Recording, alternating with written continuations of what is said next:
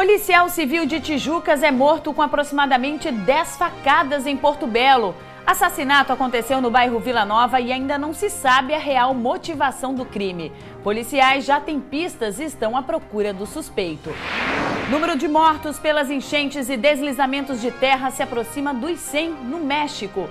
Equipes de resgate correm contra o tempo para encontrar sobreviventes na avalanche de terra no vilarejo de La Pintada.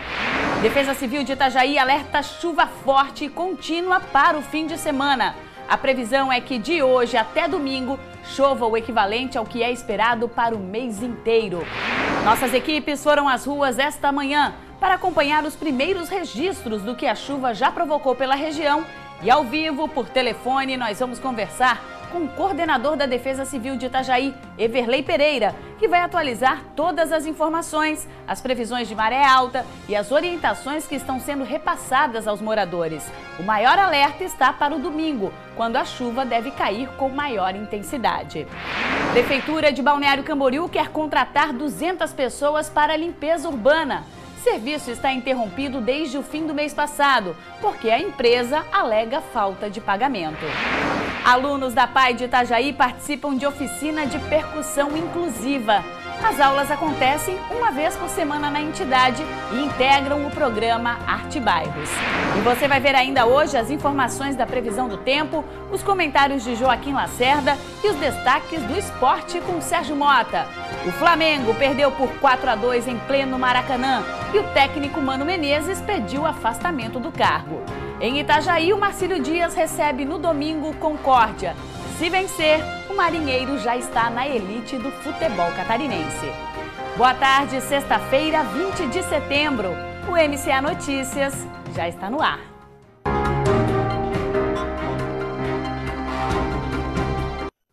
A Prefeitura de Balneário Camboriú anunciou que conseguiu autorização da Justiça para contratar 200 pessoas para assumirem a limpeza urbana do município. A cidade estava há quase um mês sendo limpa por um grupo reduzido da Secretaria de Obras, depois de um impasse com a empresa ambiental.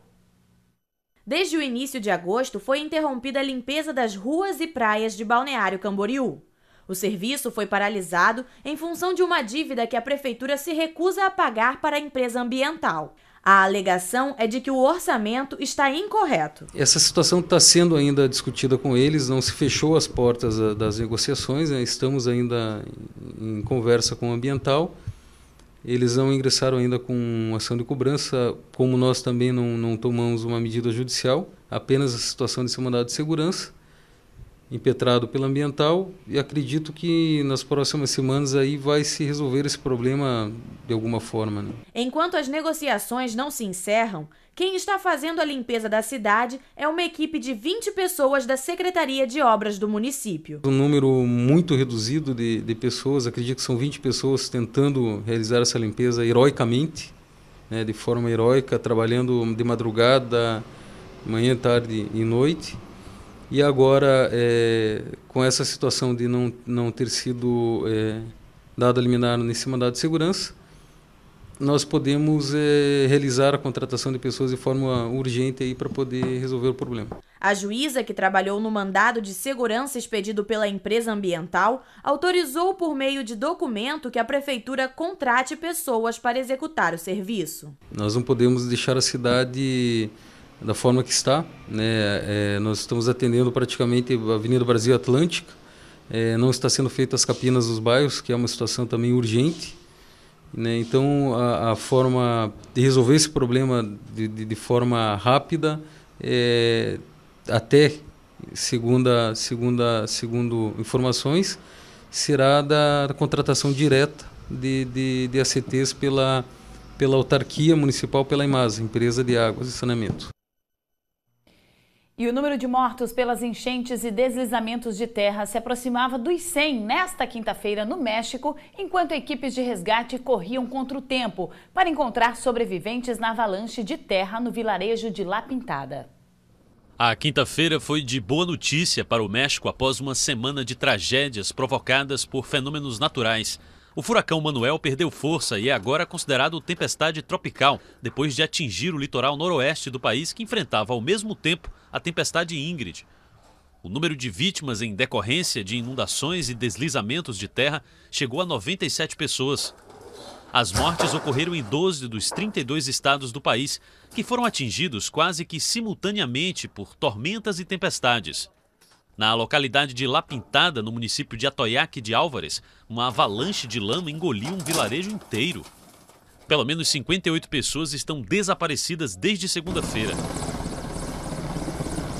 As equipes de resgate que chegaram por via aérea retiraram 287 moradores, mas 91 permanecem na localidade. Edberto Tabares, prefeito da cidade, que fica na zona montanhosa de Guerreiro, no sul do país, informou à FP que 15 corpos já foram retirados da lama. Segundo Tabares, 20 casas foram soterradas e o número de óbitos pode ser ainda maior.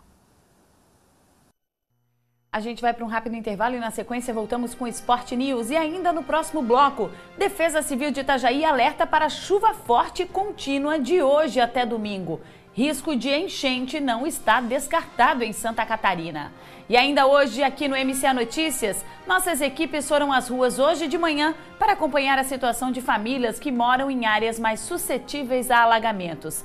E ao vivo nós vamos conversar com o coordenador da Defesa Civil de Itajaí, que vai atualizar todas as informações de maré alta, volume de chuva e orientações para a população.